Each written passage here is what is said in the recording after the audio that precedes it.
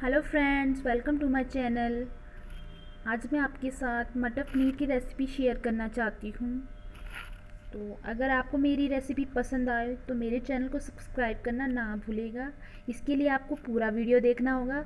सबसे पहले हम पैन में ऑयल डालेंगे। उसके बाद हम इसमें डालेंगे एक चम्मच जीरा, एक चम्मच सौंफ और उसमें ऐड करेंगे जिंजर गार्लिक का दरदरा पेस्ट और सॉटे करेंगे। उसके बाद इसमें ऐड करेंगे प्याज।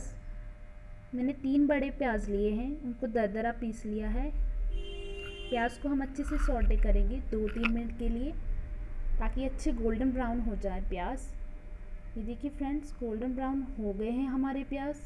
इसमें हम ऐड करेंगे सूखे मसाले, धनिया powder one and half tablespoon हल्दी पाउडर, एक चम्मच। और इसमें ऐड करेंगे लाल मिर्च का पाउडर, एक बड़ी चम्मच। सारे मसालों को हम अच्छे से मिक्स करेंगे। हमें सारे मसालों को अच्छे से भूनना है फ्रेंड्स हमारे मसाले भुन चुके हैं, ये देखिए। अब हम इसमें ऐड करेंगे टोमेटो प्यूरी मैंने चार बड़े साइज़ के टमाटर लिए हैं, उनको अच्छे से ग्राइंडर में पीस के इसकी प्यूरी बना ली है। अब टोमेटो प्यूरी को हम मसालों में अच्छे से मिक्स करेंगे।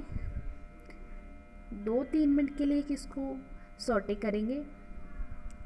ताकि सारे मसाले इसमें अच्छे से मिक्स हो जाए।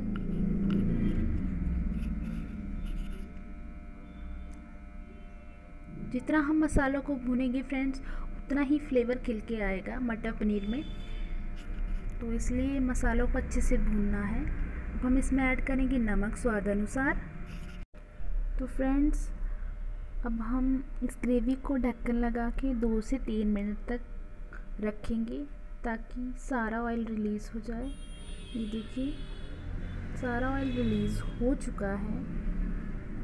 इसी स्टेज में हम डालेंगे थोड़ी सी काली मिर्च का पाउडर और एक चम्मच हम डालेंगे पनीर मसाला और मिक्स कर देंगे।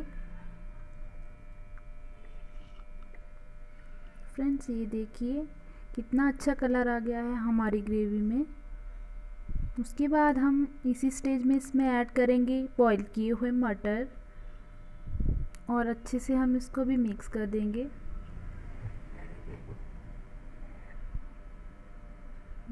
अब हम इसमें ऐड करेंगे पनीर। मैंने लिया है 300 ग्राम पनीर। पनीर को भी इसके साथ डाल देंगे और साथ में हम मिक्स कर देंगे।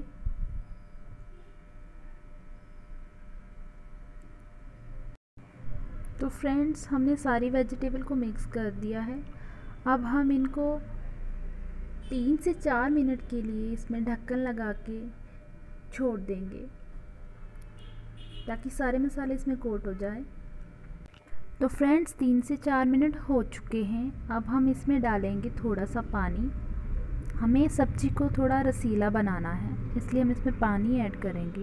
अपनी आवश्यकता के अनुसार। ये देखिए फ्रेंड्स, पानी डाल के मैंने इसको अच्छे से बॉईल कर दिया है। हमें इसको तब तक बॉईल करना जब तक कि ग्रेवी गाढ़ी ना हो जाए। हमारी मटर पनीर बनके बिल्कुल तैयार है। आइए करते हैं इसकी प्लेटिंग। तो देखा दोस्तों, कितना ही आसान है मटर पनीर बनाना। अगर आपको मेरी ये रेसिपी पसंद आई हो तो मेरे चैनल को सब्सक्राइब कर दीजिएगा और शेयर कर दीजिएगा।